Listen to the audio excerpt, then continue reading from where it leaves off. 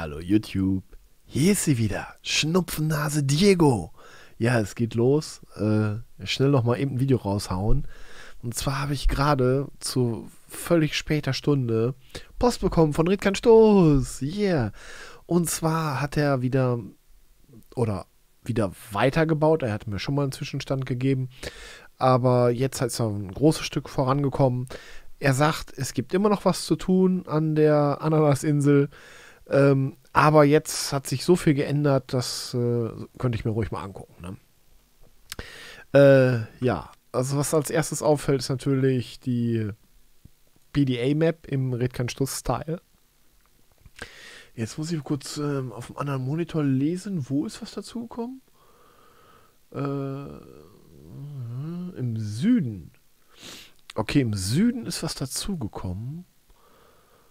Müssen wir mal gucken. Wir werden, ist eine Vierfach-Map, wir machen vier Videos, ne? Das sage ich euch schon mal gleich. Ich hätte es jetzt hier nicht ähm, äh, in einer Viertelstunde einmal über eine Vierfach-Map drüber, ne? Äh, es gibt jetzt einen Kuhhof. Okay, so, das wollte ich auch noch mal, muss ich noch mal kurz nachlesen. Ja, ich würde sagen, wir gucken mal, ob wir uns hier so auf diesen Quadranten hier beschränken können. Du bist nicht zufälligerweise ein Auto, was mir gehören könnte. Ne? Ah, doch! Oh, ist das geil. ich habe mich voll erschrocken, dass ich einsteigen konnte. Ja, also, äh, ihr kennt diesen wahnsinnigen Typen namens Ritkan Stoß. Ähm, der hat äh, zum, zum Mod-Contest äh, eine Vierfach-Map rausgehauen. Äh, kann man mal machen, ne? Kann man mal machen. Der hatte jetzt aber nicht so wie die anderen Leute zwei Jahre Zeit, sondern der hat das wirklich nur in der Zeit gebaut, wo man das bauen durfte, ne? Oder das heißt durfte, da wo der Wettbewerb halt war. Ähm, finde ich sehr schön. Also finde ich jetzt schon sehr schön. Ähm, zumal jetzt, ähm, ja, man kann dann halt mal so ein bisschen, ja, ich sag mal, wie Urlaub, ne? Man kann mal so ein bisschen in anderen Sphären äh, sich begeben. Wenn man jetzt, boah, keinen Weizen mehr sehen kann und nicht nochmal Ballen stapeln, bitte. Und, oh, ne? Ihr wisst, was ich meine, ne? Und dann mal einmal so ein bisschen Urlaub machen. Urlaub vom LS machen. Mal ein bisschen, äh, ja, Südsee ist das, ne? Im weitesten Sinne ist das eine Südsee Südseeinsel. Wir sind hier im Hafen. Wie gesagt, das ist noch nicht die finale Version, aber wie er sagt, schon mal ein Stückchen näher in Richtung finale Version. Ähm, ihr habt ja gesehen, also gut, man schraubt jetzt nicht jede Minute seines Lebens an so einer Map, ähm, aber es dauert einfach. Ne? Es dauert einfach sehr lange. Also wenn ihr mal guckt, wie lange das jetzt gedauert hat, vom Mod-Contest bis jetzt, äh, das ist schon gewaltig. Ne? Ja, ich schau mal, ob ich irgendwas... Äh, ich habe immer Glück. Äh, also die, die, die Mapper, die geben mir manchmal solche Sachen.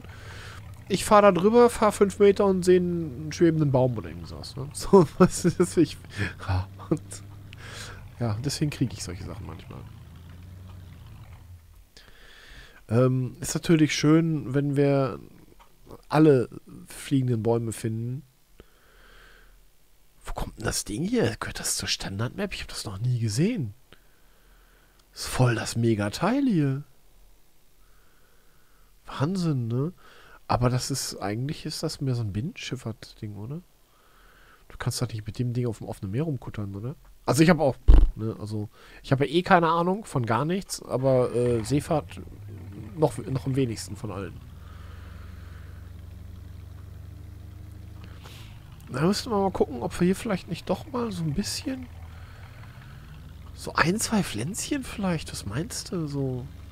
Muss nicht, nicht zu viel, ne? Ich meine, gut, das ist eine Hafengegend. Das ist äh, lebensfeindlicher Raum, ne? Da wächst nicht viel, aber so ab und zu noch mal was, ne? Nicht übertreiben, schon klar. Es ist äh, schwierig, da ein Mittel zu finden. Ähm, Wasserplane will er auch noch mal ran, hat er schon geschrieben das sind das auch so undankbare Aufgaben, finde ich. Ne? In so einer Wasserplane, da kannst du ja stundenlang drauf rumtouren und dann hast du so minimale Veränderungen und 30 Rückschritte. und dann, boah, was habe ich schon an Wasserplanen rumgeexperimentiert. So. Ich hätte jetzt ein Wort gesagt, was wieder nicht durch die Richtlinien durchgekommen wäre. Äh, ja, also hier muss so ein bisschen Grünzeug hin. Also am Rand ist ja schon ganz gut, ne? Da ist ja schon mega Grünzeug. Ich mache einmal den Colli-Check. Check, check. Ja, Collis, check. Vorhanden. Ja, hier müsst ihr mal gucken. Boah. Das tut weh, wenn ich huste. Aber jetzt nicht äh, im, im Kopf tut das weh. Also, ich weiß nicht. Ich glaube, die eine Gehirnzelle ist beleidigt oder was. Ich weiß nicht. Na, guck mal. Hier vorne stehen schon mal ein paar Bäume. Okay, also ich äh, würde sagen, ruhig noch ein bisschen mehr Leben reinpumpen in das Ding hier. Vielleicht kann man ja auch so ein paar Passan Passanten heißen diese Tiere. Die wachsen äh, auf der Straße und so meistens am, am Seitenrand. Ähm, nee, die könnte man vielleicht mal hier rumstolpern lassen. Oder vielleicht so ein Gabelstapler, wenn man das hinkriegt. Ich kenne mich jetzt aber auch mit Spindeln nicht so aus. Hat es aber alles schon gegeben, ne? Dass da eine ganze Zeit so ein Staplerfahrer im Kreis fährt, ne? Na gut, ist halt eine Vierfach-Map. Jetzt weiß ich natürlich auch nicht, was an Produktionen geplant ist oder ob er große Freiflächen gelassen hat. Ist das hier der Händler? Das ist ja, du hast ja auf so einer Vierfach-Map hast du ja Möglichkeiten, äh, die sind ja, die sind ja unbegrenzt, ne? Ich merke gerade, wenn ich mehr rede, muss ich auch mehr husten. Das ist voll doof. Ja, hier könnte. Aber hier ist schon, ne? Jede Menge Deko-Scheiß steht hier schon, ne? Ein Müllcontainer offen, auch sehr nice. Und da muss jetzt noch ein bisschen, ein bisschen Unkraut zwischen. Ein bisschen so eine Dirt-Ecke. Wieder nicht einer den Mülleimer getroffen. Das ist zum Kotzen mit denen, ne? Ja, das sind diese typischen Reifenstapel. Bin ich eigentlich noch in meinem ordnungsgemäßen Quadranten? Ja, der Hafen, ja, ja. Ich, ich halte mich noch in meinem vorgegebenen Quadranten auf. Aber man, man sieht, man sieht, was er will, wo die Reise hingeht. Es geht schon wieder in Richtung äh, abartig. Sollen wir einmal die Sackgasse ranfahren da? Fahren wir einmal, oh, fahren wir einmal über die Straße hier und dann äh, da vorne rein. Dass wir auch mal ein bisschen die Landschaft sehen. Landschaft sieht sehr gut aus, so. Jetzt so auf den ersten Blick hier.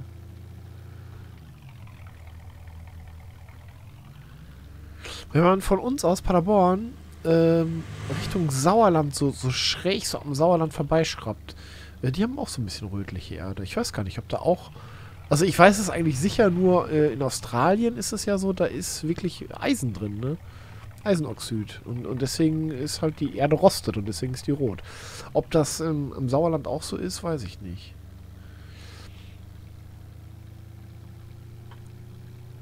Ja, hier könnte man mal die ganzen Sachen ausprobieren, die man sonst nie benutzt, ne? Wo du sonst im Traum nicht drauf kommst, ne?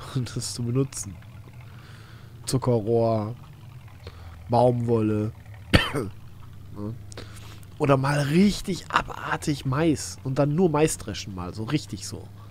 Drei Tage lang oder so, weißt du? Das ist, sowas. Das kann man hier gut machen. Aha, hier wird noch gebaut. Okay, wir fahren mal Querfeld ein. Wir wollen mal einmal so ein bisschen übers Land stolpern. Wie gesagt, das ist hier Work in Progress, ne? Das ist nicht, äh, die Version könnt ihr noch nicht äh, runterladen. Was ist das denn hier?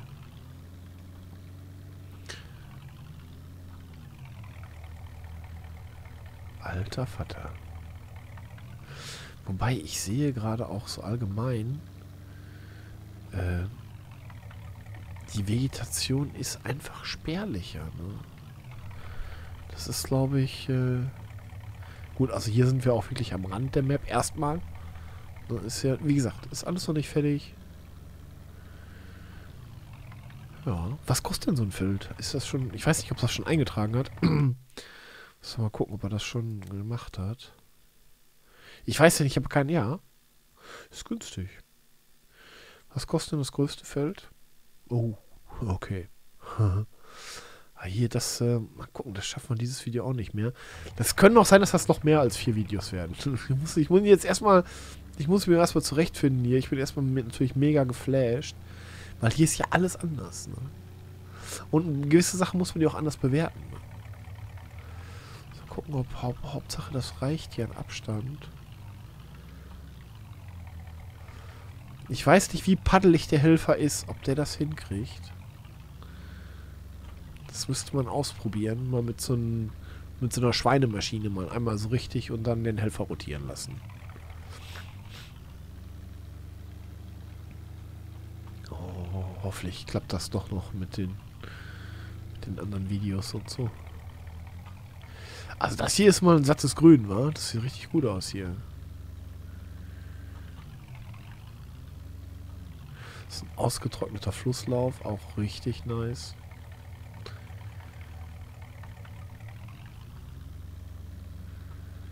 Hier oben ist hier so ein Kastell oder sowas.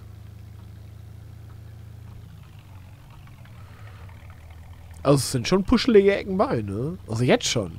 Das Ding, wie gesagt, äh, ist hier noch in einer sehr rohen Fassung.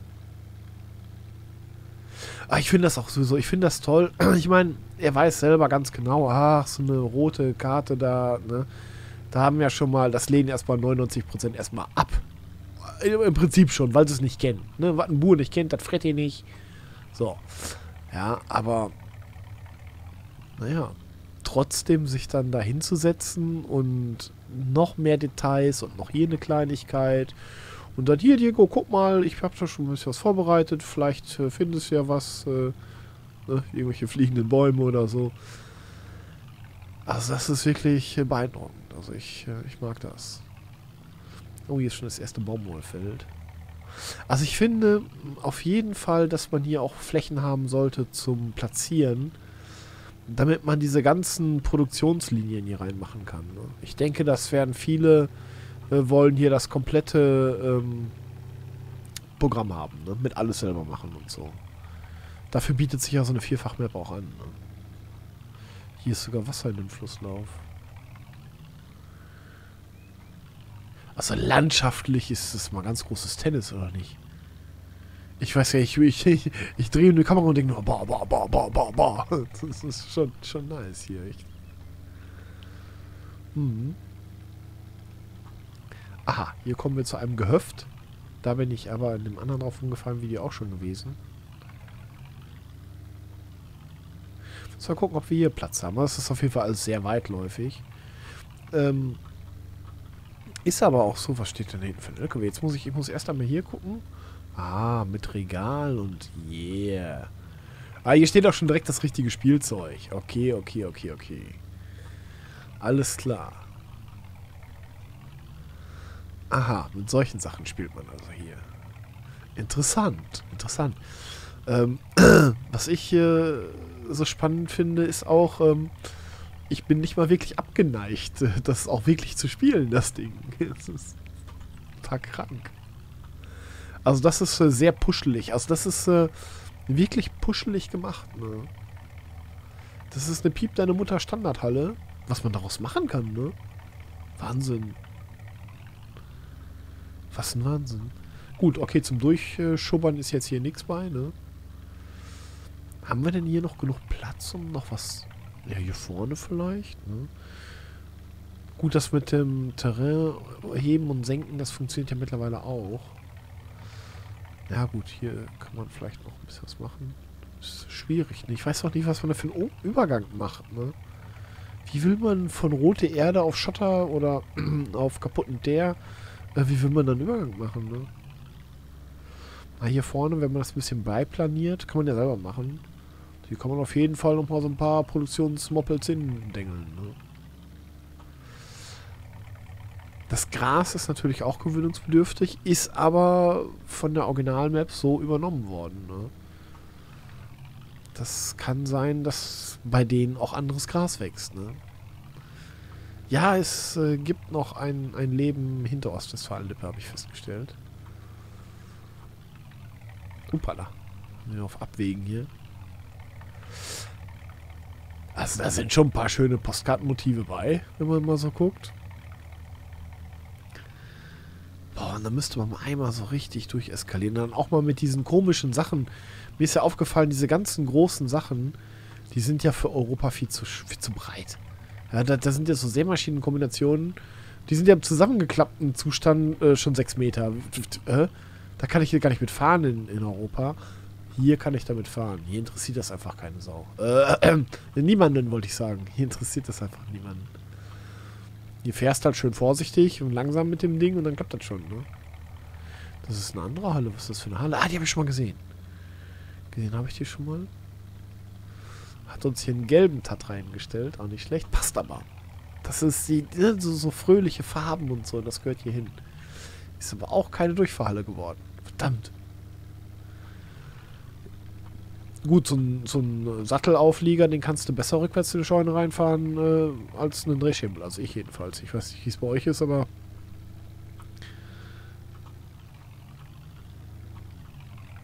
Das sind die Standardgebäude, ne? Ja, mit der kaputten Dachplatte. Alter, dieses Zuckerrohr-Wahnsinnsteil. Boah, da muss man auch Zuckerrohr echt lieben, wenn man das damit macht. Ach, hier ist zu Ende hier. Aber wo zu Ende? Verdammt, das Video.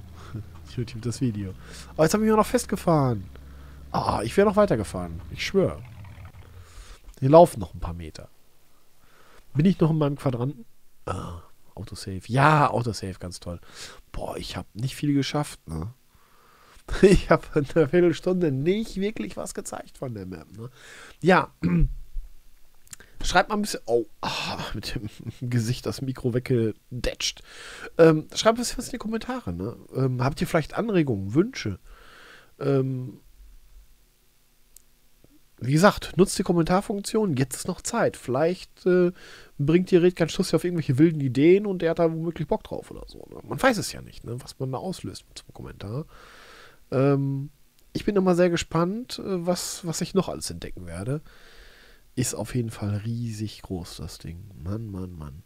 Und jetzt schon hübsch, ne? Überleg mal, ne? Äh, ist ja quasi, muss man da ja die vierfache Arbeit reinstecken, ne? In so eine Vierfach-Map. Das ist schon, das ist schon Wahnsinn. So, Diego ist draußen. Habt euch lieb. Nein, falsche Taste.